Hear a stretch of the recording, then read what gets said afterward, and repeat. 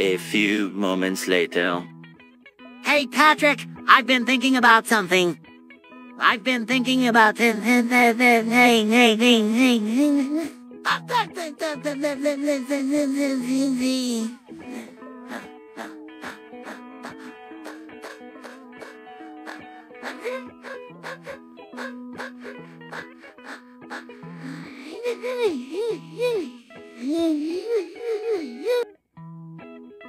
What's that, SpongeBob?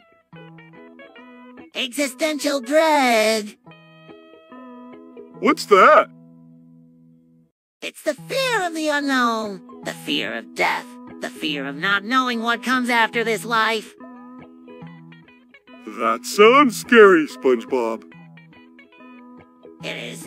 Patrick, it's the scariest thing of all. But sometimes I can't help but think about it. About what happens when we die. About where we go after this life is over. I don't know, SpongeBob. But I'm sure that whatever happens is going to be okay.